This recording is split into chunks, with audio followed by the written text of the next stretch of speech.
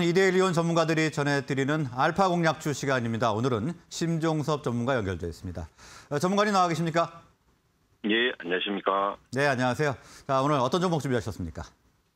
예, 오늘의 알파 공략주는 현대에너지 솔루션입니다. 현대에너지 솔루션의 3분기 실적을 보면 전년 동기 대비 매출액은 79.3% 증가한 2,683억 원, 영업이익은 303억 원으로 흑자 전환하는 모습을 보여주었습니다. 아, 흑자 전환하는 이유를 보면 ASP 인상으로 수익성 높은 유럽, 미국향 수출이 확대되었고 해상 운임 하락으로 어, 생산성 해상 운임 하락 및 생산성 향상으로 원가 절감 등이 효과를 본 것으로 확인되고 있습니다. 아, 4분기부터는 미국향 공급 물량을 확대할 계획으로 있, 있고 높아진 판가와 환율 효과로 인해 실적은 지금보다 더 나아질 것으로 예상하고 있습니다. 최근 외국인이 3거래일 동안 69억 정도 매수를 하고 있고 연기금은 52억, 아, 투신은 7억 5천 정도 매수를 보이고 있는 것도 지속적으로 외국인과 기관의 수급도 체크하시면서 매매하시는 게 좋으실 거라고 보고 있습니다. 한 가지 더 추가하자면 최근 신냉전의 흐름을 보이면서 그동안 중국의 태양광 산업의 value chain의 지배력이 높은데 신냉전 체제로 인해 난공 불락 같은 중국의 지배력에 틈을 만들고 있어서 국내 기업들에게도 좋은 공략 지점이 될 수 있을 거라고 예상하고 있습니다.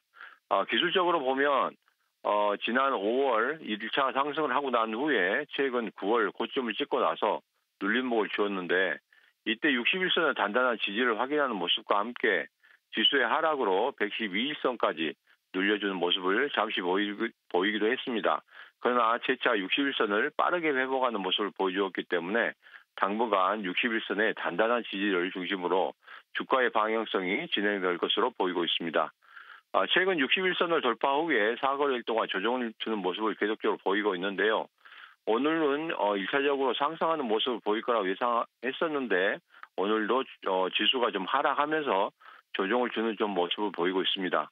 아, 가격 전략을 말씀드리면 오늘 외국인의 매도세가 조금씩 보이고 있습니다. 그래서 현 구간인 어, 6만 지금 현재 6만 100원에 거래가 되고 있는데 어, 오늘 5만 9천 원대까지 좀 밀려 내려온다고 하면 거기에서 분할 매수로 접근하시는 게 좋아 보이시고 이번 주 금요일까지 분할로 접근하시는 게 어, 좋다고 그렇게 생각하고 있습니다.